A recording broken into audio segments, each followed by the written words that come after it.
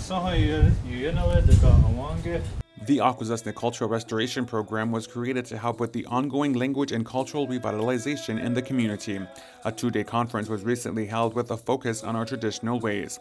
Amber Dawn, office manager of the Azajitawadum program, says after the natural resource damage settlement, they made themselves accountable to share the teachings with the community. The Azajitawadum program has teachers and apprentices who are learning cultural activities and language, and every year we hold a big conference for the community to see what it is that we're learning, what we're doing, to do hands-on activities, presentations, poster boards, everything.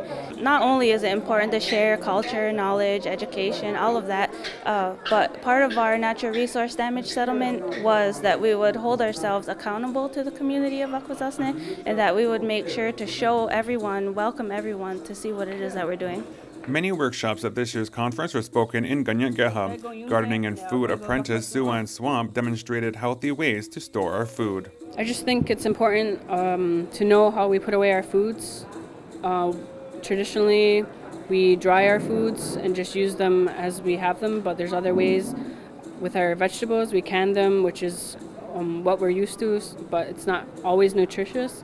Uh, fermenting and dehydrating is a different way that we can look at how we put away our food that's actually more healthy for us. So it's a healthy alternative for our community that's not really explored so far. With funding for the program coming to an end, community members hope the Akwesasne Cultural Restoration Program continues to carry on our culture and traditions through their teachings. Well, I, I would certainly hope that there, there would be future funding for this program. I, in the two years that I've had experience with it, I, I just see uh, phenomenal things happening, you know, and it's a real opportunity for us to hang on to a lot of our traditions and language and culture. And I know that the program funding is coming to, to an end, and I really hope that, you know, uh, our leadership steps up and helps this program continue on because I think it's really vital.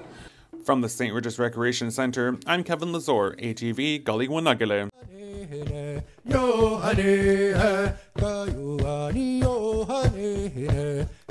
hane